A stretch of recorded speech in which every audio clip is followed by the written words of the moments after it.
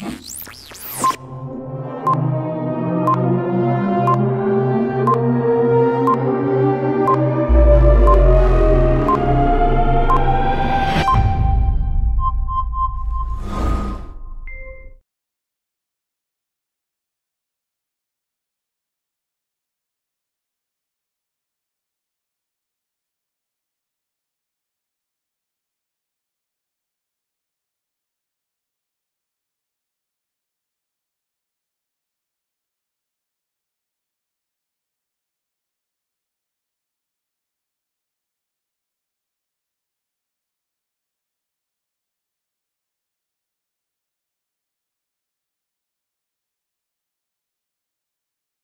You are listening to KZET Cornerstone Online Live.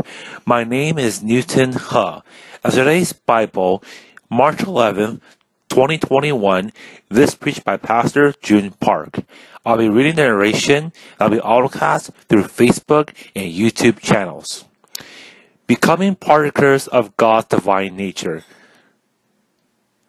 2 Peter chapter 1 verse 3 to 7. His divine power has given us everything we need for a godly life through our knowledge of Him, who called us by His own glory and goodness. Through these, He has given us His very great and precious promises, so that through them you may participate in the divine nature, having escaped the corruption in the world caused by evil desires.